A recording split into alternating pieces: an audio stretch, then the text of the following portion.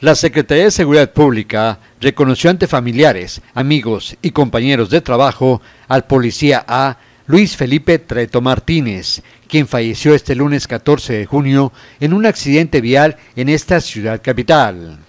Treto Martínez ingresó a la Policía Estatal de Tamaulipas el 1 de enero del presente año.